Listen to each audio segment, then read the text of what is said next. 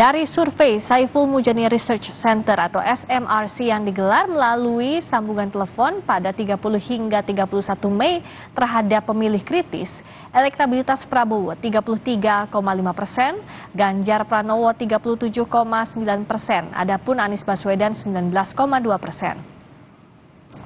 Sementara itu survei indikator politik Indonesia yang dilakukan pada 26 hingga 30 Mei yang juga melalui sambungan telepon Prabowo Subianto 38,0 persen, Ganjar Pranowo 34,2 persen, Anies Baswedan 18,9 persen.